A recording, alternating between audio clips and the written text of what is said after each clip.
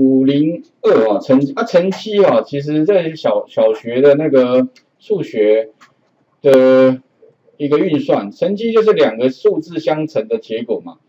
那一个是乘数，一个是被乘数。前面是前面是乘数吧，后面是被乘数吧，是吗？啊，不重要了，我看很多人都不知道哦，我有时候也自己搞混了。比如说 a 乘 b 等于 c 好了，那 a a 应该就是 a 应该是乘数吧？还是 a 是被乘数，b 是乘数啊？好了，你不知道就算啊。啊，前面是被啊，所以 a 是被乘数，后面是乘数，OK 哈，它两个相乘的结果乘积就是 c 了，OK，所以它的结果乘积是要叫你把 c 给 print 出来了，哦，OK，所以很简单嘛，所以这一题的话就是输入多少？输入五十六被乘数乘上乘数十一，得到的结果六一六这样子，哎，你们看很简单，其实答案只有三行。所以程式怎么写啊？就是这样子，a 等于 input，有没有？那一定要转成整数的，b 等于 input，print a 乘 b 的结果。所以你看一下哦，这个呃，它要什么？输入两个数字嘛，五十六、十一嘛，所以哈，我们就是执行之后的话哈，然后呢，就是在这底下打五十六 enter，十一 enter，六一六对不对？对了，好哇！你想说，老师第第五类有没有搞错啊？第五类，第五类是这样的吗？太简单了吧？这这简直是是是啊，小看我们的实力嘛？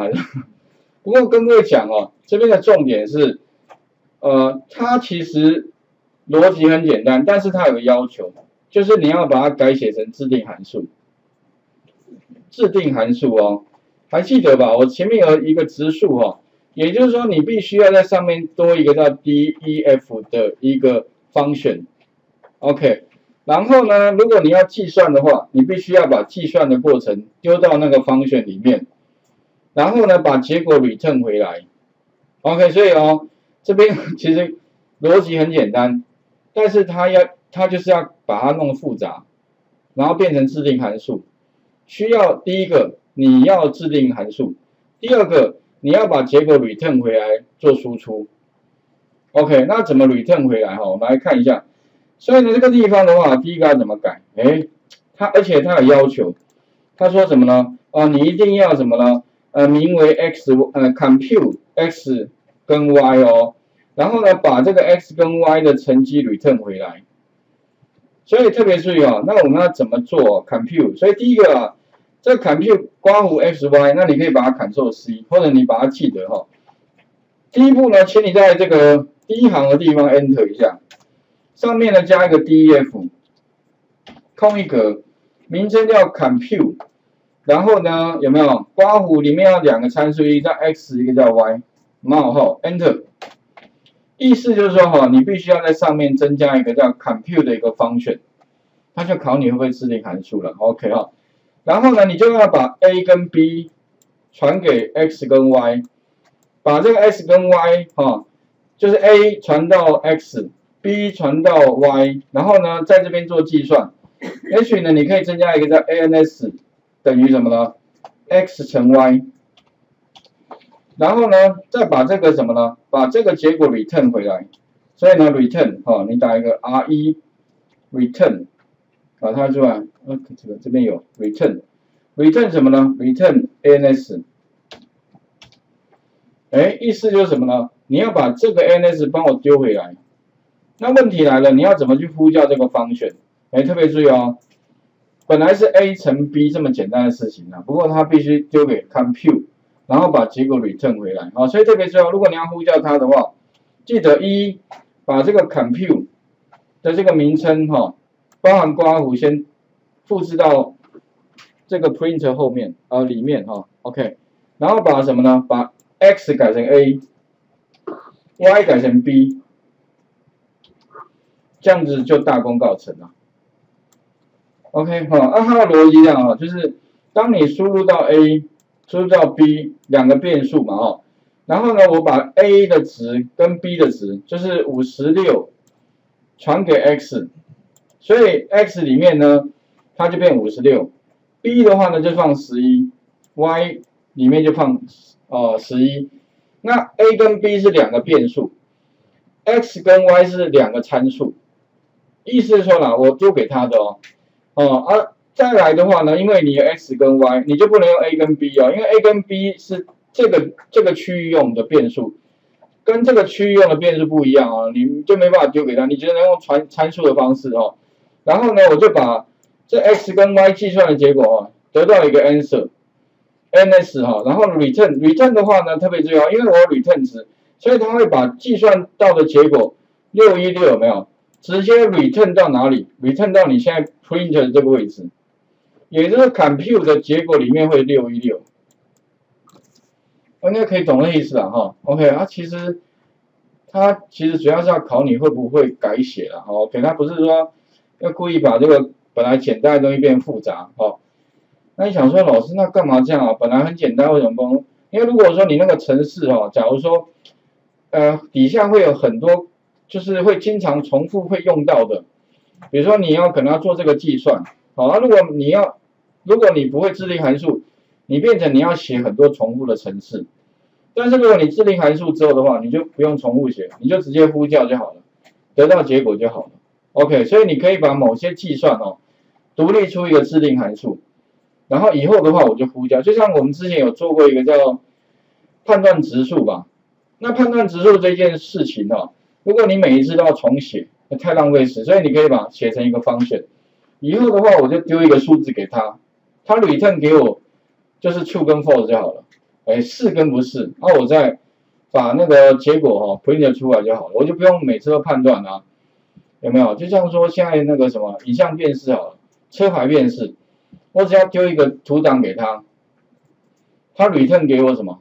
给我一个文字就好了，他的车牌就好了，这样我就很方便，就是变成说那一段程式我不用知道了。所以啊，其实那个方选有些时候啊，别人写好的，你如果会用的话就好了，OK 哦。好，那这个地方的话，我们来试一下。最后啊，写完了执行，然后这边的话就是输入段，输入五十六，哈，五十六，Enter 十一，结果六一六，这样 OK 了，哦，是，对，是。，X Y，你还是用 A B，还是跑出来六一六哎？对，可以啊。哦。其实这边的话啊，你也可以把它改成 A 跟 B 啦。对。对，好啊，底下的话要改 A 跟 B，不过跟各位讲哦，这样比较容易混淆。为什么？因为那个 A 跟 B 哈，虽然都 A 跟 B，但是这边是变数，这边是参数哦，这两个是不同的东西哦。OK，所以理论上哦，还是叫 X 跟 Y 好了，哦，比较不会混淆。其实我本来好像叫 S 跟 Y，那干脆我把它啊改过好了。也许云端上的程式哦。